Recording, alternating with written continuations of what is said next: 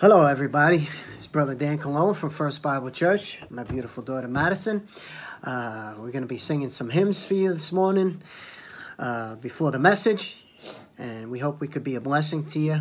The first song we're going to sing is uh, from from our hymnal on page 492. It says, "Jesus loves even me," and the Bible says that Jesus said.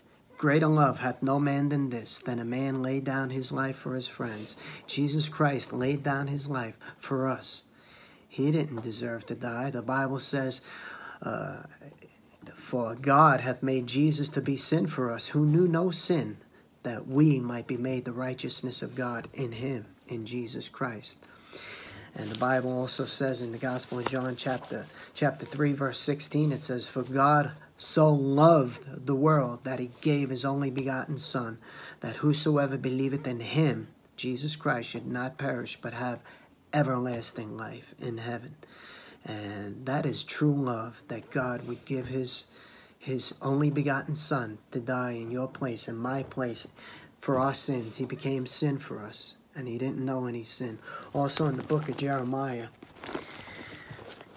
God says, The Lord hath appeared on the Bible says, The Lord hath appeared of old unto me, saying, Yea, I have loved thee with an everlasting love. Therefore, with loving kindness have I drawn thee. God loves you this morning. Sometimes you may not feel like it, but God loves you. So here we go. You ready? We're going to sing it a cappella. Uh, we don't have no instruments with us to play. And we don't know how to play instruments anyway. So we're going to give it a try. All right, so. I am so glad that our Father in heaven tells of his love in the book he has given. Wonderful things in the Bible I see. This is the dearest that Jesus loves me. I am so glad that Jesus loves me. Jesus loves me. Jesus loves me. I am so glad that Jesus loves me. Jesus loves even me. Though I forget him and wander away, still he doth love me wherever I stray. Back to his dear loving arms will I flee. When I remember that Jesus loves me, I am so glad that Jesus loves me. Jesus loves me. Jesus loves me. I am so glad that Jesus loves me. Jesus loves even me. Oh, oh, if there's only one song I can sing, when in his beauty I see the great King, this shall my song in eternity be. Oh, what a wonder that Jesus loves me. I am so glad that Jesus loves me. Jesus loves me. Jesus loves me. I am so glad that Jesus loves me. Jesus loves even me. Well, even if it didn't sound good down here, God, it sounded good to the Lord. Uh, page 126. Page 126. Can you turn there? I don't have right here. Page 126. In Psalm chapter 62. John, Psalms chapter 62, verse 2, it says, He only is my rock and my salvation. He is my defense. I shall not be greatly moved. Jesus Christ, the Bible says, is the rock of our salvation. He is the rock of ages. Also in Psalm chapter 2, chapter 92. Oh, I found my glasses. Psalm chapter 92, verse 15. To show that the Lord is upright. He is my rock, and there is no unrighteousness in him. Jesus Christ is the rock of our salvation. And we are going to sing that great old hymn, Rock of Ages. You ready? Let's give it another try. All right. Rock of ages, cleft for me, let me hide myself in thee. Let the water and the blood from thy wounded side which flowed be of sin the double cure. save from wrath and make me pure. Could my tears forever flow? Could my zeal no longer know? These for sin could not atone. Thou must save, and thou alone. In my hand no price I bring. Simply to thy cross I cling. While I draw this fleeting breath, when my eyes shall close in death, when I rise to worlds unknown, and behold thee on thy throne, rock of ages, cleft for me, let me hide myself in thee. The last, the last stanza here it says, While I draw this fleeting breath, when my eyes shall close in death, one day it's going to happen. Your heart's going to stop beating. You're going to draw that last breath.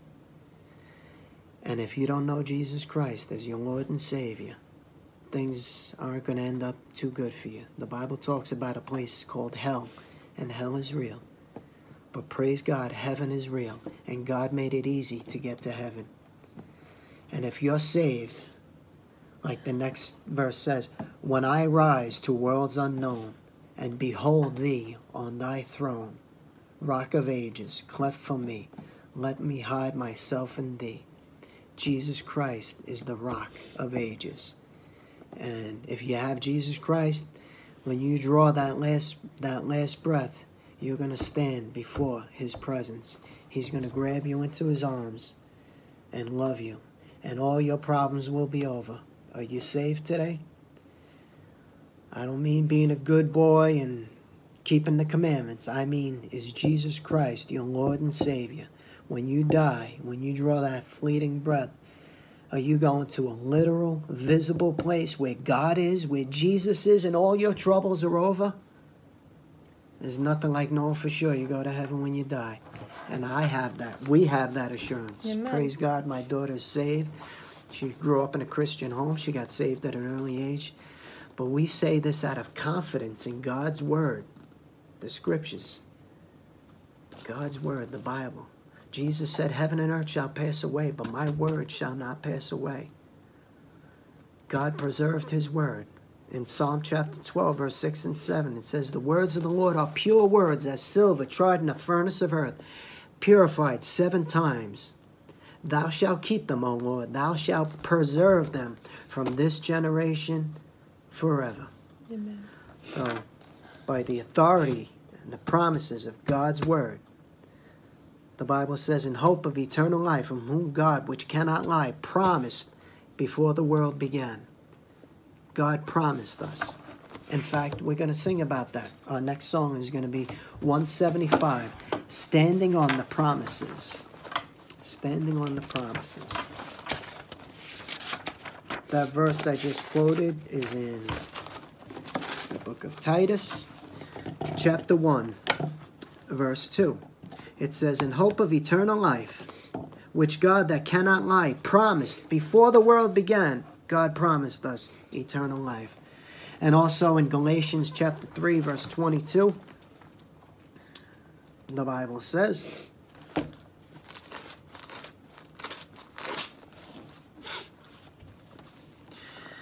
But the scripture hath concluded all under sin. All have sinned. The Bible says all have sinned and come short of the glory of God. There's none righteous, no, not one, the Bible says. All under sin. That the promise by faith of Jesus Christ might be given to them that believe. God promised us. If you put your complete faith and trust in Jesus Christ, Jesus Christ, He promised us that we have eternal life. That promise by faith of Jesus Christ might be given to them that believe. And the last verse is in 1 John chapter 2.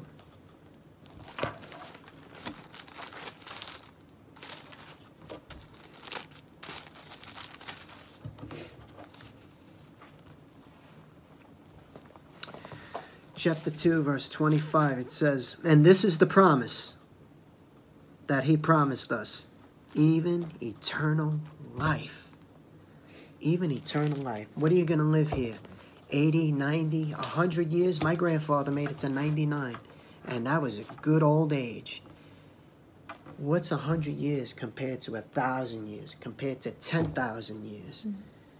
You know, people that died that love the Lord Jesus Christ, that are saved, that died 200 years ago, guess where they are right now? They're in heaven. Amen.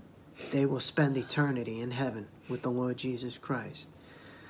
But the people who died without Christ 200 years ago, they're still in hell. They're still burning. Their problems were never over. A lot of people want to say when they die their problems are over. If you're not saved, sometimes your problems are just beginning. So here we go. We're gonna we're gonna sing "Standing on the Promises."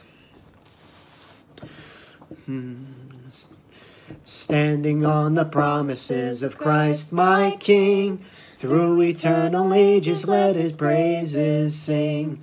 Glory in the highest, I will shout, shout and sing. Standing on the promises of God, standing, standing, standing on the promises of God, my Savior, standing, standing.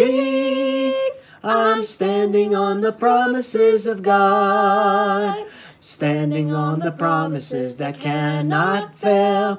When the howling storms of doubt and fear assail, by the living word of God I shall prevail, standing on the promises of God. Standing, standing, standing on the promises of God, my Savior. Standing, standing, I'm standing on the promises of God standing on the promises of Christ the Lord. Bound to him the Spirit's words. Bound to him eternally by love's strong cord, overcoming daily with the Spirit's sword, standing on the promises of God, standing, standing, standing on the promises of God, my Savior, standing, standing. I'm standing on the promises of God. One more time. Standing on the promises, I cannot fall. Listening to every moment to the Spirit's call. Resting in my Savior as my all in all. Standing on the promises of God. Standing, standing, standing on the promises of God, my Savior. Standing, standing. I'm standing on the promises of God. We're going to try that third one again. Standing on the promises of Christ the Lord, bound to Him eternally by love's strong cord overcoming daily with the Spirit's sword, standing on the promises of God, standing, standing, standing on the promises of God, my Savior, standing, standing. I'm standing on the promises of God. Amen. See, what this is an organized religion. This is unorganized hymn hymn singing, but we have fun doing it. And you know what? It, it's it's nice singing about God's promises, standing on the promises of God. That yeah. third one where I jumped down to to another stanza, it says, "Standing on the promises of Christ the Lord, bound to Him eternally by love's strong cord." We talked about God's love. God so loved the world, overcoming daily with the Spirit's sword. The Bible says the Word of God is like a sword, standing on the promises of God. God gave us some precious promises, and I'm going to talk about that next and uh, when we preach when I preach the message. But thank you for being patient with the father daughter team here. But it was it was fun anyway, right? Yeah, all right. All right. Praise the Lord. Hello, everybody. It's Brother Dan Colon from First Bible Church, New Jersey. It's that time of uh, that time of month I get to share something from God's Word, the Bible, good old King James Bible. It's God's Word because we're a Bible believing church. It's not uh, it's not my opinion that matters. It's what God says. So I like to just share what God says this morning or this afternoon, whenever you're watching this video. And uh, by the way, I'm hoping, uh, well, we're hoping, the church is hoping that we could get into the nursing home soon, and uh, so we can see each other face to face. Anyway, so uh, yeah, it doesn't matter what I say, it's what God says, and God says that the Bible's right, everybody else is wrong. He says, I'm right. And the Bible's right. He says he, he put this book here for us, for our learning, for our knowledge, so we can know the mind of Christ. We can know God's mind. We can know what God's will is for us in, in our lives. You know, the Bible says that Jesus said in Matthew 24, 35, it says, Heaven and earth shall pass away, but my word shall not pass away. You know, uh, so this book is eternal. There's two eternal things in life. It's the souls of men. Everybody has a soul and the word of God that's going to last forever and ever. It says, heaven and earth shall pass away. My word shall not pass away. Uh, in Psalm chapter 12, verses 6 and 7, the Bible says, uh, the words of the Lord are pure words, as silver tried in a furnace of earth, purified seven times, purified, purification. Thou shalt keep them, O Lord. Thou shalt preserve him from this generation forever. That's Psalm chapter 12, verse 6 and 7. Saying it doesn't matter whether you believe it or I believe it, it doesn't change the fact that it's God's word and it's truth. Whether you want to believe it or not. God says something, it's going to happen. It has happened. I mean, the book's never been, this book's never been proven wrong. Think about it. For hundreds of years, this book, I'm sure however old you are, since you're a baby, you know about the Bible. If you've lived in America, praise God. God has blessed America because of that because we used to hold this book dear to us. And it was important, this book, at one time in this country. And that's when God blessed this country. But little by little, this country, this country that, that, that, that promotes sin, that, that glorifies sin and has parades for sin and doesn't want God. They want God when they need something, but other than that, they don't want to hear about God. They they've taken them taken them away from taking them out of schools, out of a out of a courthouse, out of a they've uh, this country is in a state of apostasy. This whole world is that we turned our back on God. But, but like I say, it doesn't matter because the God's word is truth. Try to ignore it, but deep down inside, you know it's the truth. So, before I get started, a little word of prayer. I'm going to be preaching something out of Luke chapter 15. And, but before we do that, I'm just going to go to the Lord in prayer. Heavenly Father, in Jesus' name, we come before you, that name above all names. I love you, Lord. And I pray, Father, that uh, your word could be a blessing to us this morning, this day, Lord. And uh, thank you, Lord, that uh, you are a great God and a great Savior. And thank you for loving us so much, Father. And I pray that uh, you would bless this message in Jesus' most precious name. Amen. So, I'd like to uh, share something from the book of the Gospel of Luke, chapter 15.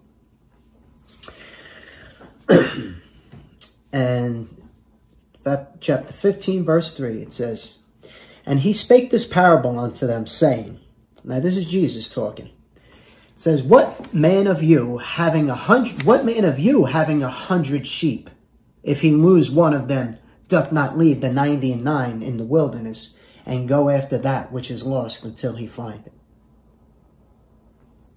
And what, and when he hath found it, laying it on his shoulders, rejoicing. And when he cometh home, he calleth together his friends and neighbors, saying unto them, Rejoice with me, for I have found my sheep which was lost. I say unto you that likewise joy shall be in heaven over one sinner that repenteth more than over ninety and nine just persons which need no repentance. And praise God, I'd like to thank the Lord for being a great shepherd. You know, the Bible likens us to as, as sheep. And the reason why is because from what I've gathered, I, I'm no expert on it, but they say sheep are just dumb and they need a shepherd. And God likens to us like sheep who need a shepherd. And that great shepherd is Jesus Christ. And it says, What man of you, what man of you having a hundred sheep, if he lose one of them, doth not leave the ninety and nine in the wilderness? Aren't you glad that God left heaven? That God left heaven to come down and save you, to come down and save mankind from hell, that you don't have to go to hell? You know, uh, it's the Bible said the, the Bible likens us to sheep. And I, I've always wondered, I says, well, why, well, not that I've always wondered, but I said, why not, why not a dog or a cat or something good? Cause I, I like dogs. I mean, I'd rather be like as a dog. I, I think dogs, I think God made dogs just for men. I mean, I think it's all about children and dogs and, and, and family. But you know what? Cause sheep are dumb. And the word of God likens us to sheep. Uh, have you ever wondered why dogs have never been uh, never been mentioned? Uh, it's it's always sheep. Why sheep? Because sheep are dumb. That's about it. I've never done a big study on sheep. One thing I know is that they wander and they cannot find their way back without a shepherd. I mean, you've heard stories about dogs people going camping, they leave their dogs uh, at a campsite or whatever, and they come home and, oh, we left Fido at the campsite or we, we left them at the rest stop. Six months later, Fido's at the front porch just waiting to come in. Dogs will find their way back. I, I And I love dogs. I have two of them, and I let them out the backyard, and they know where they got it good, so they always come back, and they know where, where the house is, and they know where the warmth and the comfort is, so they, they, they don't go too far. Uh, Cats, I have a cat too. My cat, he he doesn't even want to go outside. He just stays in the house. Uh, I've had cats growing up that we let them outside and they, they would disappear for days, sometimes weeks. And we think, what happened to the cat? I don't know. He's not. And then he'd show up. But, you know, it, it's, but sheep, from what I understand, they don't find their way back from anywhere. I, I from what I, from what I've learned, my son-in-law is a third generation farmer and, uh, he tells me some stories, and you know, and he says that he says that a, a, a, sheep sheep could be 50 feet away from the barn, and they still don't get it to go into the barn. They have to be herded into the barn. They have to be pushed into the barn, and they need help guiding them back. And just like we need help, we need help from our shepherd, our great shepherd, Jesus Christ. And if you notice in our text, it says uh, that that Jesus Christ, he left, he left, he left the splendor of heaven to come into this old sinful world. He was in his Father's presence, and yet he still came down to this old sinful world. He left. He came to seek that which was lost, the Bible says. So God became a man, and he came to seek, you know, to seek and save that was lost. And I'm sure glad I have a Savior that seeks sinners because the Bible says there's none righteous, no, not one, that we're all sinners. All have sinned and come short of the glory of God. And I'm glad that Jesus Christ seeks sinners and whom I am chief. Just like the Apostle Paul said that he's chief. I think I'm the chiefest of sinners. But God is so good and God forgives us because we, we have a Savior. We have that shepherd, that great shepherd. And we have that Savior that seeks sinners. And I'm glad he stepped out of heaven and he came. He came, he, let, he left his father's house to come see us, to, to come redeem us. And in verse 5 over here, it says, uh, And when he hath found it, he layeth it on his shoulders, rejoicing. He's so happy when he finds a, a, a when when he when when a sinner gets saved the angels of heaven are rejoicing, as we read in verse uh, verse 7. It says, I say unto you that likewise joy shall be in heaven over one sinner that repenteth, more than over ninety nine just persons which need no repentance. So there's joy in heaven when a sinner gets saved, when a sinner accepts Jesus Christ as their Lord and Savior, their great shepherd. And uh, another thing my son was telling me, uh, I asked him, I says, do sheep ever, like, if they disappear or something, do they, do they have a special call? And he says, yes, it's called bleating. Bleating is when a sheep starts calling in distress. Uh, he says, and, and, and if a sheep is lost, the shepherd, the shepherd looks for him. So just like Jesus Christ is seeking after us, the shepherd Jesus Christ, the great shepherd, is seeking. He's looking for us. But we need to call upon him, just like a sheep has that certain call called bleating. And we need to call upon the Lord. The Bible says in uh, Acts, the book of Acts, it says, Whosoever shall call upon the name of the Lord shall be saved. you know, uh, you need to call upon God. You need to, to call on that great, on, on, on that, that great shepherd. And he'll come and he'll find you. And I called out to that great shepherd, Jesus Christ, when I was found. I was I called out January 7th, 1988. I was lost and I called out to Jesus Christ, that great shepherd. He found me and he saved me.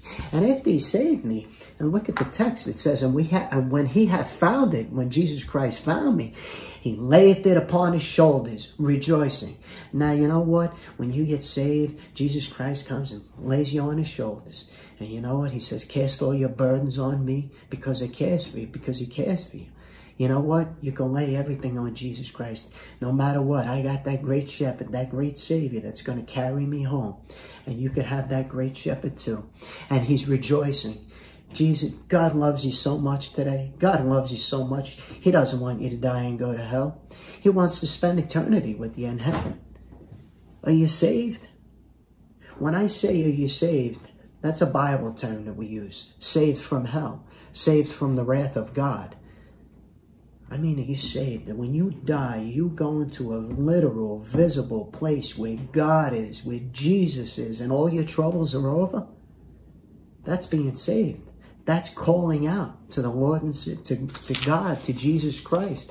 It says, Whosoever shall call upon the name of the Lord shall be saved. And in Acts 2, Acts chapter 2, let me read this one. 2, 21. And it shall come to pass that whosoever shall call on the name of the Lord shall be saved. Are you saved? You got to make that call. Us dumb sheep, us dumb sheep, we need to call out to that shepherd so he could hear us and he'll come find us. And then he'll put us on his shoulders. He'll protect us. He'll protect us. Let's look at the Gospel of John. Gospel of John, chapter 10.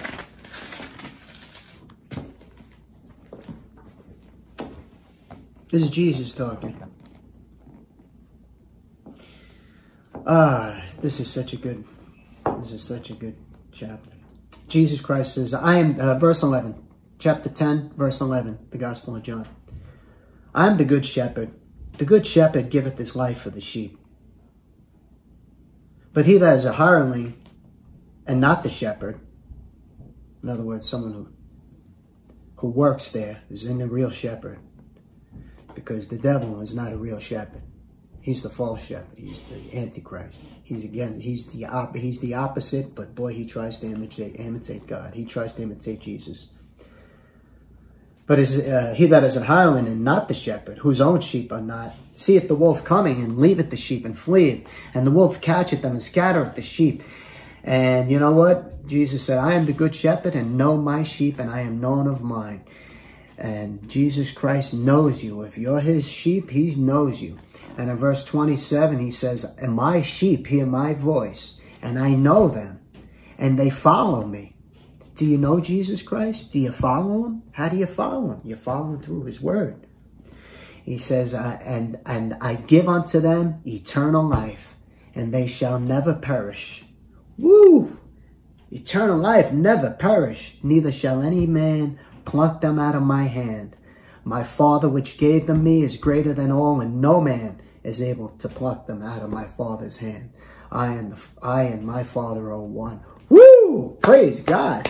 That great shepherd hears our voice and he knows us and he and, and, we follow him and we're never going to perish. Nobody can do anything. The devil can't take you away once you're saved. Once Jesus Christ is your great shepherd and your savior, once you accept him, the devil cannot take your soul. He could beat you up, boy, while you're here on earth. He could beat you up. I mean, give, you know, God will allow him, you know, to beat you up a little bit, but he, you're fixed for eternity if you're saved. And if you're saved, boy, there's so much more. There's so much to look forward to. First Corinthians chapter 4. Uh, is it 4? Maybe Second Corinthians. Oh, First Corinthians 2 9. First Corinthians 2 9. 1 Corinthians 2 9 says, But as it is written, Eye hath not seen, nor ear heard, neither have entered into the heart of man the things which God hath prepared for them that love him. We can't comprehend. There's nothing we we've seen in our lifetime. And I, I, mean, I think I've seen some beautiful country. Me and my daughter, we went cross country this year. We 4,000 miles to New Mexico and back. And I said, wow, this country is beautiful. There's so many beautiful things. God says there's nothing that you can see that will look like that will compare to heaven. There's nothing. There's nothing that you could hear uh, like a, the sweet sound of a baby uh, laughing. That's a sweet sound. Well, God says the sound, your, your eyes, your ears, you can't comprehend how good it's going to be. The things that I have prepared for them that love me. Oh boy, I love Jesus Christ. Oh, I love him so much. He's my great shepherd, my savior. I mean, what a Savior. What a Savior. He didn't have to die. He didn't have to die for your sins. All your sins were laid upon Jesus Christ. All my sins were laid upon Jesus Christ. The Bible says he hath, God hath made him, Jesus, to be sin for us. Who knew no sin. Jesus never sinned, never sinned once. That we might be made the righteousness of God in him, in Jesus Christ. The Bible says, uh, the book of Acts, it says, Neither, neither is there salvation in any other. For there is none other name under heaven given among men whereby we must be saved. It's only through Jesus Christ. Jesus didn't come down to start a religion. He didn't come out of heaven and leave just like the shepherd, the, the shepherd, the good shepherd that left and and and sought out that that lamb that was lost. Jesus Christ stepped out of heaven. That's a picture of him. That's a picture of Jesus Christ coming out of heaven looking for sinners. He's seeking for sinners. Are you a sinner? Of course you're a sinner. The Bible says all have sinned and come short of the glory of God. There's none righteous, no, not one. And the Bible says in Romans, it says, for the wages of sin is death. The wages of sin is death. The payment of our sin is death, going to hell, separation from God for eternity. But the rest of that verse says, but the gift of God is eternal life through Jesus Christ our Lord. You see, it's only through Jesus Christ. It's not through religion. It's through Jesus Christ. Jesus said, I am the way, the truth, and the life. No man cometh unto the Father but by me, Jesus Christ. So, I'm going to end there. And I just want to thank you for listening. I hope you paid attention. I hope it was a blessing to you. It was a blessing talking about my great shepherd about my Lord and Savior Jesus Christ. It, was it was it was a blessing for me to share it. I hope it was a blessing for you. And we're gonna give a little word of prayer now. We're gonna end in prayer. Heavenly Father, God, we love you today, Lord. Thank you for for leaving. Thank you for leaving heaven and seeking for sinners. Thank you for looking for me. And thank you, Lord, that I called out and you heard me and you found me, Lord. Thank you, Father, for saving me. And I pray, Lord Father, that this message might have been a blessing to you, most importantly, and to the hearers, Lord. May you receive the honor and glory. And I pray someone will get saved through this message. In Jesus' name, amen. So until next time, God bless.